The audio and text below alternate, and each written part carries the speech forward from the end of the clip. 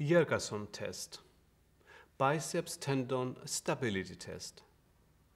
Test for biceps tendon instability in the bicipital groove.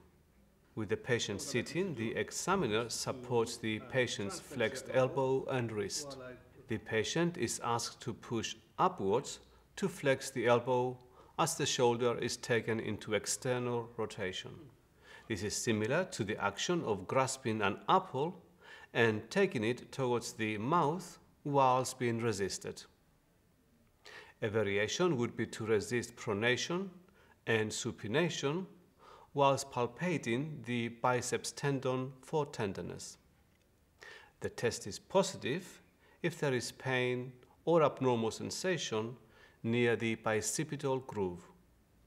A positive test may indicate instability or lesion of the biceps brachii tendon.